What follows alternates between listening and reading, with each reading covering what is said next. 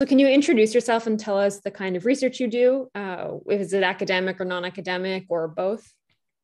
So, my name is Michael Wigginton. I am a PhD student at the University of Ottawa. I'm in my fifth year. And my research is academic. It's all related to my, my PhD work, and it's mostly focused around representation. My, my thesis focuses on uh, political, the recruitment of political candidates and how it affects women's representation in Canada. And my other research is broadly focused on political participation. So I, have done a lot of research on what affects voter turnout, like what makes people vote, what makes people not vote, and also work on uh, why people vote the way they do. And it's all it's all been quanti with one exception, it's all been quantitative in nature. So I work mostly with survey data, mostly other surveys, very little of them myself, as well as data from Elections Canada and agencies like that. So when you're conducting different research or working on these different projects, do you always do so in the same way? No, uh, I definitely don't always do so in the same way. It it really depends on a lot of factors. There have been times where, like with my thesis, for example, actually, where I found some data and I started looking around, and then I had a research question afterwards. There have been other times where, uh, for example, I I did a, uh, a paper I published in electoral studies last year with my supervisor on the role of candidate attractiveness in Quebec elections and how it influences how people vote. And that came because uh, I went and voted for the first time living in Quebec. I noticed there are candidate photos on the ballot, and uh, that kind of sparked my imagination, and I went running with it. But so it's particularly for me, the biggest difference is always like where the ideas come from and what what point in the whole research cycle it actually starts at. Uh, that has varied wildly for me. Um, okay, so you said that you don't have a typical process, but can you? Is there anything about your process that, like, as you've been doing research over the years, you sort of like honed or or like figured out methods that work for you or that don't work for you in terms of the way that you work? I guess the one thing that I've really well, I wouldn't say honed in the past tense, but that I am actively honing is uh, really about the writing process, knowing when to stop looking at data and to stop thinking of alternative ideas and when to start writing. And I've also gotten a lot better, mostly at my supervisors, uh, incessant uh, nagging me about it uh, of actually outlining papers. I, I, used to, particularly as undergrad and going through grad school, I would write in a very chaotic fashion where I would just kind of start writing and fill in the pieces that here and there. But I've gotten much better about at the very outset knowing how I'm going to structure a, an article or a paper or my thesis. Uh, that I have found has become much more uniform. That I, I do that. I do it on paper uh, because I find that's the only way I get myself to really commit to it and to not get distracted. Uh, that that is probably the one uniform piece. And do you do that before you like get into the research, or do you do that, or do you have you like gathered a whole bunch of research or like data, or sorted through a whole bunch of stuff and then write that line that is varied, but where I, am kind of landing is that it, it happens twice essentially, but there is a very rough outline. Uh, like for example, for the the one about uh, candidate attractiveness, like because we actually had to go out and collect data for that ourselves, so that needed some more thought than other things I've done. We had I had an idea at the beginning of what was all going to look like, but then once I had actually done the analysis and I knew what the results were, then once again I, I wrote like a final structure, which only is going to vary slightly from what I set out to do, but it's still something I do before I start writing up the results. And that kind of connects to a question that I was going to ask later, which is about anytime your research doesn't go according to plan, or like, because I was going to say if you create an outline at the at the outset and then collect data or sift through data and then are like redoing that outline, has it ever shifted dramatically? Oh yeah, uh, there's um, we actually just resubmitted it for peer review, uh, paper on internet voting and how it affects turnout. I mean, that we started in 2019. We're still not done, uh, and it's it's changed form several times because we didn't find what we were expecting. Uh, we'll see if peer reviewers disagree with us, but we found that actually, despite what we had hypothesized and what other research found, uh, allowing people to vote online doesn't increase turnout at all. Uh, and so that paper is actually like it was both. It's now actually split into two entirely separate articles. It happened one in the beginning and it has changed form i think at least three times we have pretty much deleted the entire thing and rewritten it and redone analyses. Eh, that that that that actually has been taking up an inordinate amount of my life for the past. Right, and probably unexpectedly so. Very much so. We thought it was very straightforward. We didn't think it was going to take us very long. I didn't think I'd still be working on it two years later. Mm. But here I am. Does that kind of thing happen often in terms of like length of projects?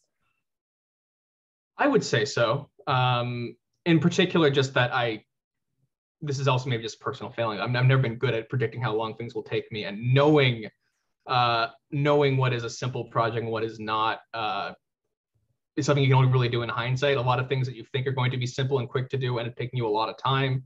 A lot of things that you think are going to take you a lot of time actually end up being much simpler than you expected. And some ideas you think are absolute genius just don't pan out. And some ideas you didn't think were that great are the ones that actually work. Right. And so, okay. So in terms of that question around like research not going according to plan and, and having to adapt or troubleshoot, is that the example that, like, do you have any other examples of that or? Well, the only other example, which is uh, much less informative for anyone, is I uh, accidentally deleted uh, most of my PhD thesis at the beginning of this year. Uh, that wasn't fun. Um, but all I really learned from that is you should back up your data. You should back it up in at least two places, not one. Because the real problem I had is that I uh, I use Microsoft OneDrive. It's like Dropbox, same sort of ideal. It's great. It auto backs up. But the problem is if you overwrite your data with garbage like I did, uh, the backup updates through your for your new garbage data that doesn't work and it's all gone and you have to do several months of work over again that's insane yeah, what it wasn't a good time um what does it mean to you to be a researcher or like how do you how does that like do you feel like there's an identity with that it's funny i i haven't ever really thought of myself as a researcher but obviously i guess i am one it's how i spend most of my day uh, I I don't know. I've never actually I've never I've never identified that way. And I guess I mean obviously to me being a researcher means to do research. And I, I don't actually now that I think about it think there's anything more to it than that. Anybody who does research in some capacity is a researcher. If you work for the government as a policy analyst and you're doing your own research, if you're working independently, if you work at a university, if you're a student, if you're a professor, it's it's all research. You're all researchers.